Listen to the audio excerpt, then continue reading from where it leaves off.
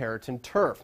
West Jefferson looking to avenge last year's playoff loss to the eventual champion Pirates. No score early in the second quarter. West Jefferson's Philip Lundholm on the sweep cuts it up and into the end zone. Watch the green shoes getting in for the score.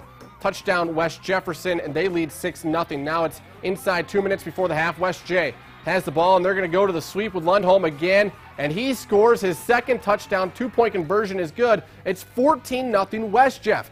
But West Side comes roaring back before the half. Peyton Brown going into the end zone.